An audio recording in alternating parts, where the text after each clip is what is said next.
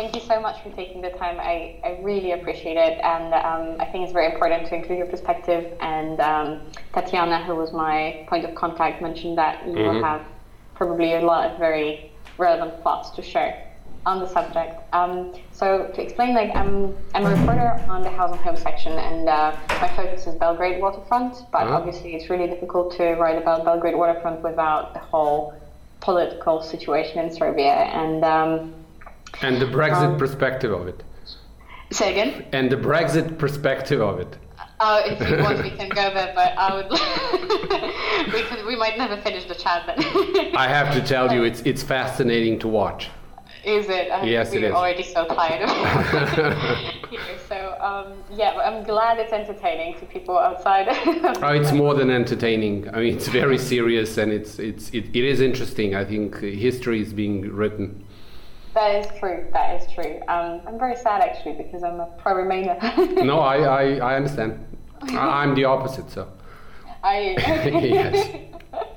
Oh wow, um, great. Uh, well, so um, because my, my subject is uh, Belgrade waterfront primarily, I was wondering if you, just for starters, could share your perspective on the development and how it came to be and what's controversial about it. Mm-hmm.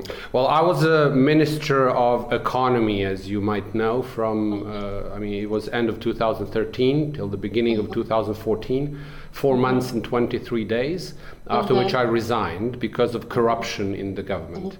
Yeah. Uh, and uh, the deals with um, Arabs, as they were uh, mm-hmm. labeled, and I would say mm-hmm. Arabs under quotes, because I yeah. haven't seen a single Arab yeah. doing the negotiations, all the negotiations about all the projects that they are doing in Serbia. Uh, from the Emirates were done by two uh, legal offices in Belgrade, uh, uh-huh. and a team that ran a former minister of economy. His name is Mlađan Dinkić. And they basically uh, developed all the deals between the government of Serbia and the so called uh, Arabs from the uh, Emirates. Uh, there is, I think, strong suspicion.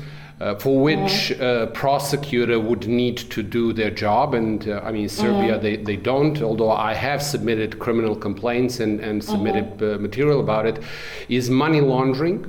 Mm-hmm. And it's the money that's been taken out of Serbia through various mm-hmm. means of, of know, embezzling public funds, and then they are being washed and returned back uh, to Serbia through funds in uh, investment funds in United Arab Emirates, where those funds basically just take their cut of the uh, overall deal, and then that money comes back to Serbia, and with that money, the I mean people that are taking the money out of the country, and that is the government and people in power, uh-huh. are then buying assets in Serbia.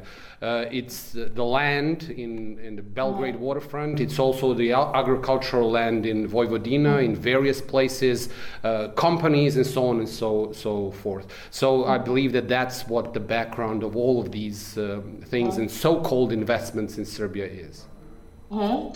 Um, and has there been any tangible proof so far that um, of any wrongdoing? Uh, well, I have uh, I have submitted uh, all that I have to the prosecutor's office, and uh-huh. as you mm, uh, may uh, understand and appreciate, it's not.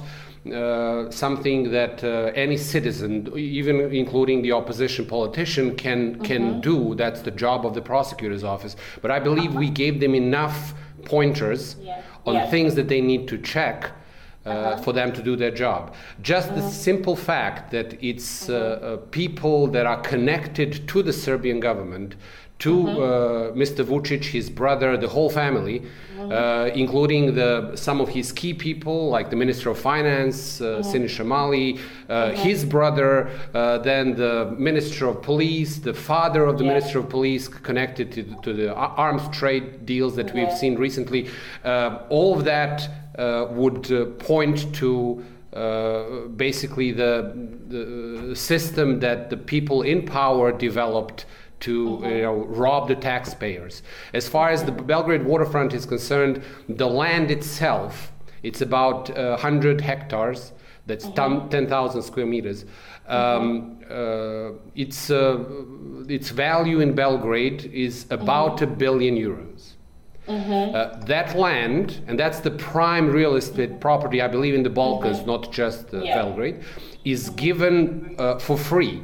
Mm-hmm. Uh, to, to the, uh, so-called investment funds and the companies yeah. they've, they've, they've formed so that they can build uh, apartment buildings, the office space and, and such without paying anybody anything then sell those and out of the proceeds government might get something and basically mm-hmm. the way the deal is structured is that the government gets i believe about a 3rd mm-hmm. of the profits yeah. of the uh, corporations that, that were set up and that signed the deal. Uh, unfortunately, the Parliament of Serbia ratified uh, those deals and all the laws that were necessary uh, for them. So basically, you have people that with zero investment actually yeah. capture the prime real estate and, and are, I mean, making uh, tons of money on it, and that's basically taxpayers' money. Mm-hmm. You mentioned zero investment, as in you, you did, just to make sure I understand correctly, because when I write about it, I have to be very clear. Mm-hmm, yeah. um, that basically, because it's not the money coming from the investors, because their identity is still, still unclear. Mm-hmm. Um, it's basically the money that's being taken out of Serbia, money, the dirty money that's you know needs laundering, and that this is the way it's coming back through, which is why you call it zero investment. Uh, yes, that that is correct, mm-hmm. and I mean it is it is a, I mean a very simple money laundering uh, scheme, and the money mm-hmm. is going through a number of countries that are mm-hmm. doing the same types of deals. So the mm-hmm. autocrats in power are cooperating with one another. Um, and basically, your um, your main argument is for like basically presenting it is because obviously like you submitted evidence and um, the, it's for the prosecutor's office to determine whether it's it's valid. Mm-hmm. Um, it's basically uh, the fact that. Um, could you actually tell me, like, in your own words, how, like, why do you think it is that you think it's a money laundering scheme? Because I don't want to put words in your mouth. Sure. Like again, yeah. Well, the key is that all the companies that are building, let's say, in the water, mm-hmm. Belgrade waterfront, all the people that are making the decisions are all connected to the government mm-hmm. and people in power. There are no Arabs. I mean, I don't know anybody who would make a sizable investment and have no interest in their investment and basically have only the local people uh, determine who gets the money and how much. So it's their construction companies, it's their, I mean, everything is theirs. And uh, uh, by doing these deals, I mean, they are paying a significant amount, uh, amount of money to those building, building companies so that the profits, I would suspect at the end would be zero. So the, uh, or would be something symbolic so that they can sh- say that, let's say, oh, the government of Serbia made 50 million euros on this deal, whereas the land itself, yeah. uh, I mean, not, not to talk about all the other fees that need to be paid, like the, uh, you know, uh, getting ready, I mean, the, preparing the, the land for, mm-hmm. for being built, the infrastructure that has to build, be built with it, which is mm-hmm. all paid. Uh, by the taxpayers, and that every other builder who wants to build needs to pay uh, certain fees that are significant fees in order to build anywhere anything. I mean, if they just took that land, uh, I mean, uh, made some uh, plan for how to develop it, and then broke it down into into smaller uh, uh, lots of land. I mean, they could have made, I, I believe, even more than a billion euros. So essentially, all of that money disappeared through this scheme a billion euros. Yeah, at, at least. Yep, at least. Mm-hmm. Um, all right, and when you're talking that talking about the the fact that all companies that are involved in the building process are connected to um, the government or the people in power, you mean the construction companies but also Serbian construction yes, companies. that's right. Mm-hmm. The Serbian construction companies, and then also the uh, construction companies from abroad that then subcontract the Serbian construction companies. So, I mean, it's all taken care of, every aspect mm. of the deal. I mean, it's very similar, uh, similar to, let's say, when uh, Azerbaijani company um, gives a loan to the Serbian government to build. Uh, uh, build a highway, let's say, between two cities. And then their companies are doing the building, they are subcontracting local companies. I mean, an enormous amount of money is flowing out of the country. Mm-hmm. And I mean, it's the same sort of deal, so they then split up the money. uh, afterwards. I mean, this Belgrade waterfront is one of such projects. Now, in order to uh, prosecute this, I mean, the, I mean, the prosecutor would need to get some international help. I have been, before I became a mm-hmm. minister of, of economy, I've been working with the mm-hmm. prosecutor's office, with the police, training them mm-hmm. on how to process uh, financial fraud, how to uh, process uh, economic yeah. crime. And basically, we developed all these schemes because uh, in the past they didn't have much knowledge about it. So we, we got plugged uh-huh. into uh, all the appropriate uh, um, you know places and had relationships with with mm-hmm. international police, the foreign police departments that are doing the same sort of things. So it's something that the prosecutor needs to do. I can't. you know, write a letter to them and tell them. I mean, please. Uh, I mean, tell me the money coming out of a account of a public enterprise, uh, let's say socially owned uh, enterprise that paid some bogus uh, uh, invoices coming from some other countries that are measured in in you know tens and sometimes hundreds millions of euros. I mean, where do they go and where did they end up? Uh, luckily, money always leaves trail. It's just a matter of whether you are uh, willing to pursue it. Now, uh, I mean, you need a government that actually wants to, uh, you know, pursue these things, and what we have is the opposite. Unfortunately, uh, in, it's not just this government. It's the government before this government as well, and then uh, a government before that government. So, I mean, we have a, uh, sort of same uh, system in place for the last 30 years, since Milosevic up until today, and yeah. it's all about money. Mm-hmm. um, and um, in this system, because I assume like the prosecutor's office is somehow connected and plugged into this system, like, do you expect any success out of the um, uh, your submission? No, I mean I've I've filed uh, many uh, criminal complaints uh, on, mm-hmm. on on many number of of uh, corrupt cases. As I mean, I filed some of them as a minister. So uh, and none of them had any results. I mean, what what they do? Uh, I mean, the purpose that they do have is uh, we've said something, and there is a record of it. Mm-hmm. And I'm an op- one of the opposition leaders, and uh, we are fighting to get into power. And uh, yeah. basically, the, one of the things that, that is a big part of our program is that mm-hmm. we will finally prosecute uh-huh. these things. Oh, actually, let the prosecutor make the pro- prosecutor's office do their job. Mm-hmm. Yeah. And uh, so, uh, unfortunately, that's all they uh, serve for today. Mm-hmm. Even when I worked. Uh, uh, before I became a minister, worked for the prosecutor's yeah. office as, a, as an independent consultant with my team. Um, we solved a number of cases that were not prosecuted afterwards. Mm-hmm. They were just uh, yeah. deals were made, and uh, I mean everything was uh, sort of uh, put under the under the rug, and you have that continuation for 30 years, where the, every new uh, government or the coalition in power is protecting the previous one, yeah. and uh, I mean, everybody's sort of continuing through uh, unpunished. So we were. It's it's kind of sad because when you work, let's say, with the with the young policemen that are really eager to do their job and protect yeah. the interests of the people, you yeah. see how disappointed they get when the you know um, investigations that they run that where they believe they I mean they they got the evidence and then they uh, the whole thing gets eventually stopped. Uh, I was, for example, one uh, working on the Mišković case, if you're familiar with Serbia at all. It was a big case. One of the biggest tycoons in Serbia was uh, arrested, and everybody attributed that to Vucic, and actually, it had nothing to do with him. It was mm. something that was done completely independently, yeah. and then they, they sort of looked at the ways to stop it. Mm-hmm. So, do you think, um, because you mentioned that you know the prosecutor would need to get some international help, would it take an intervention from outside, like like outside body like the EU, or um, I don't know, I don't even know international criminal court. I'm not entirely clear mm-hmm. on like whose remit is that. Well, I mean, it, it, starts from from Serbia, where you mm-hmm. see, uh, I mean, th- that's where the money flow originated from, mm-hmm. and then you have to just follow the trail of money. So okay. it's, uh, I mean, it depends on through which country they went, and I mean, mm. just follow to, to see where the money uh, went mm. to. It's it's not that difficult. I mean, it's yeah. it's a lot of work. Yeah. Uh, th- that's for sure. But I mean, it's not rocket science.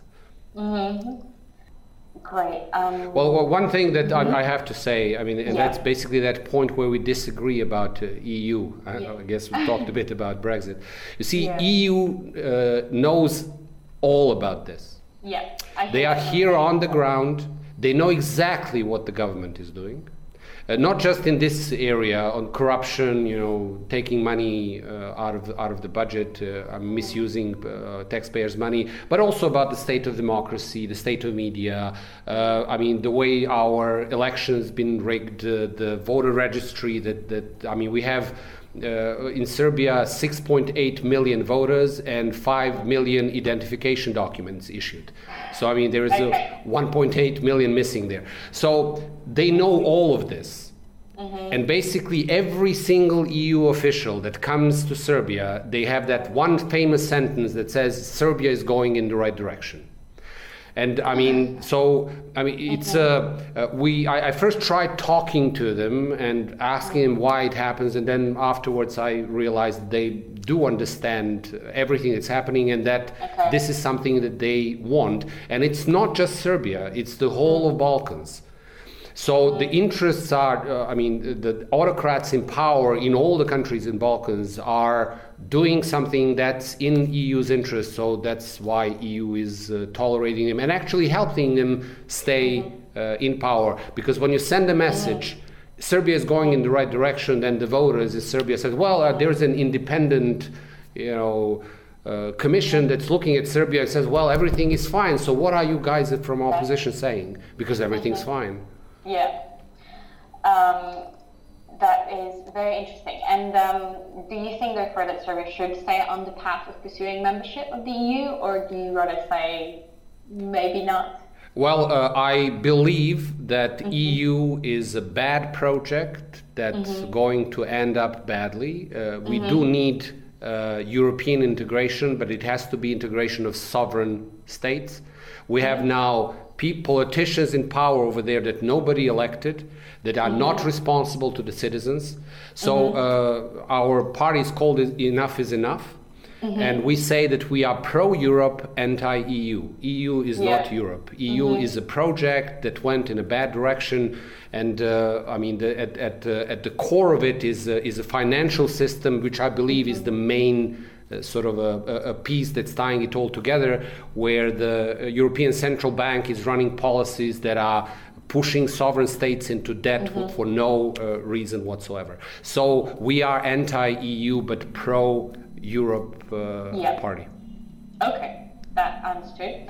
Um, that's absolutely fine. I'm just curious because I think the question of membership is quite relevant in the whole process, and as you mentioned, it you didn't feel that you is helping well, I actually, like yeah, I, I see them actually pushing things in the wrong direction because mm-hmm. there is a cooperation from Serbian government. I mean, if mm-hmm. this is not a, I mean, uh, issue for the interview, but I, I can mm-hmm. give you a main reason if you're interested. Sure, absolutely. With, it's uh, it's uh, the, the main issue are migrants that are coming through Serbia.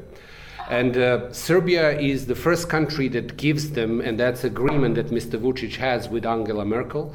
Yeah. Uh, Serbia gives them the piece of paper on which says that they apply to asylum in Serbia. Uh-huh. I mean, they apply for asylum in Germany, but the Serbia yeah. is the place where they file an intent to file for an asylum. Okay. That piece of paper is basically uh, uh, something that will get them to Germany because yeah. if you decide to uh, return them back, then you return them either to the country of origin, and if you can't, then you are returning them to the country of first entry. So essentially, you have migrants coming into Europe, into Greece, through mm-hmm. Bulgaria, Macedonia. None, no, these countries are not giving them any mm-hmm. papers, and the Serbia is the first one that does yeah. that. So cooperation on this particular issue is what the, I mean, why Mr. Vucic has the full support. He's even trying to ta- talk to our uh, citizens telling them that you know we have a lot of young people leaving Serbia because the situation is really bad. Yeah. It's about fifty thousand a year, and he okay. says that well the migrants will be coming in, and then by 2020 30. Uh, you'll have the same number of our people leaving as the number of migrants coming in because we'll need a workforce for the as a cheap labor for the yeah. German companies that are that are opening their factories in Serbia. Yeah, yeah, understood. Wow this is so complex. Yes, it is. Uh, yeah, it's uh, um, it's probably a matter, as you said, for for a separate thing. Um, okay, um, going back slightly to the Belgrade waterfront, um, is are you aware of any laws having been broken or bent or made not relevant in, in order to make way for this development? Uh, well, I mean, uh, th- there is a lex specialis or a special law has been passed mm-hmm. that sort of uh, puts all the deals that are done in connection to all the Arab investments mm-hmm. or, or uh, mm-hmm. Arab Emir- Emirates investments, mm-hmm. sort of a special deal mm-hmm. that uh, I mean the laws do not apply to. So when they sell them ag- agricultural mm-hmm. land, where before they do that, they have to offer that land to uh, businesses that are already there. That's the law in, in mm-hmm. Serbia. Uh, and the, the you know the uh, little farms that, that are there that might expand and get more land for their fam- mm-hmm. farm. I mean, they cancel that, so the deals are mm-hmm. done directly with the with the government and with the Minister of Finance. The same is for the uh, land in Belgrade, for example, for that uh, Belgrade waterfront, where the land needs to be offered on an auction. Uh, mm-hmm. to the to the bidders. I mean, none of that is uh, I mean mm. present here. So it's all direct dealings between the government and whoever mm. the the investor is. Uh, as, as, far as money laundering, I mean, I I suppose mm-hmm. I don't have to explain. I mean, how many laws have been broken there? Yeah, well. Uh, that is, yeah, that is in itself, I suppose, like um, like massive wrongdoing. Um, so basically, would you say that bypassing rather than bypassing the existing laws? Is that the way? It's a, it's a combination of bypassing and mm-hmm. and uh, right out broke, breaking uh, mm-hmm. the laws. And uh, I mean, when mm-hmm. the prosecutor's office is not doing their job, and mm-hmm. they're not because they are politically appointed and they all mm-hmm. fear for their job. So I mean, that's uh, essentially the system. Uh, this is how we have it in Poland now as yeah. well. So I totally feel how uh, frustrating that feels. Well, it is um, very frustrating. The, the most frustrating thing is when mm-hmm. uh, EU officials come over and say that Serbia is going in the right, going direction. The right direction. Now, I, I, can offer to you, uh, I mean, I'm sure she would accept uh, uh, another person to talk to, Miroslava Milenovic. Uh-huh. Uh, she's uh, somebody I worked with closely. We were together at the prosecutor's office. I think she's she's investigating financial crimes all all around the world, mm-hmm. and I mean she knows about this and many other cases uh, okay. as well. That would be great. I would I would appreciate being put in touch with her. Yes. Is there is there anything else that you feel um, I should know about or I should be asking about around the, the Belgrade waterfront development specifically? Well, I mean, it's a, uh, that deal is just a part of a much larger deal. Mm-hmm. And uh, a much larger deal covers not only the agricultural land, it covers the mm-hmm. um, uh, Etihad investment, mm-hmm. uh, then investment uh, in the uh, airport in Belgrade. Mm-hmm. That is connected to the arms trade. Mm-hmm. Uh, uh, because it's used. Uh, I mean, the, the flights that are uh, uh, being used in that route are the flights. Uh, mm-hmm. I mean, that, that are connected through these companies. Yeah. So it's it's a much bigger. Yeah. scheme than just the Belgrade yeah. waterfront. Although even that piece of the overall puzzle is something worth mm-hmm. investigating for sure. Yeah. Yeah, I'm I'm not unfortunately able to like have a, a very like a full blown investigation, but sure. you know, but um, because it's not exactly the scope of my piece, but I I'd like to have as many voices around it and as many sides mm-hmm. to it. I've been to Belgrade actually. I saw the development. I spoke to the people in the streets and in um, mm-hmm. the city um, just like asking about their opinions and um, hoping still to speak to the Transparency Serbia mm-hmm. organization, mm-hmm. yeah. just to you know have it covered. But would really appreciate being put in touch with Miroslava Milenovic. Mm-hmm. Uh, I think that would be a useful a useful voice as well. Sure, we'll do that. As far as this bigger deal for the arms trade, I think yes. Spiegel in Germany wrote about yeah. that. There is a number of articles there, so that can be a reference. Uh-huh. Okay, that's a good reference. That's that, that's me. Yeah. Um, that's fantastic. Thank you okay. so much for your time. I really Thank you. it. And uh, um, good luck in the elections. Thank you. And you Bye. with Brexit. Bye. Bye.